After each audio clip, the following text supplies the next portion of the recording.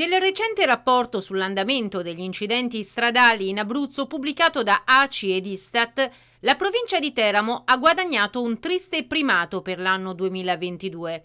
Il Teramano, al secondo posto per il numero totale di sinistri, si trova in cima alla lista per il numero di morti e feriti a seguito di tali incidenti. Nel corso del 2022 Teramo ha registrato un totale di 784 incidenti stradali, posizionandosi al secondo posto dopo Pescara che ha segnato 804 incidenti. Tuttavia, ciò che rende questa statistica ancora più sconvolgente è il numero di vittime coinvolte.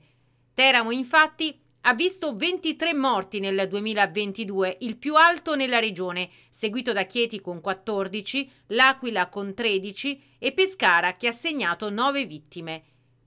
Inoltre 1097 sono le persone che hanno riportato ferite a seguito dei sinistri.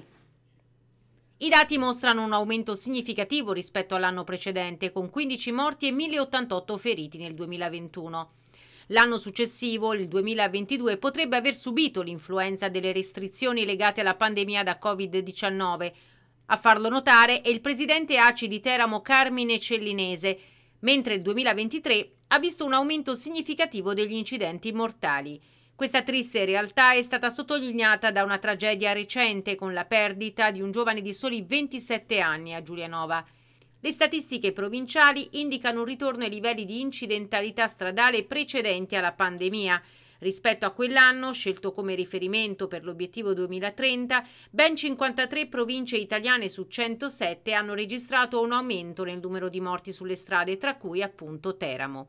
Questi dati richiamano l'attenzione sulla necessità di intensificare gli sforzi per migliorare la sicurezza stradale.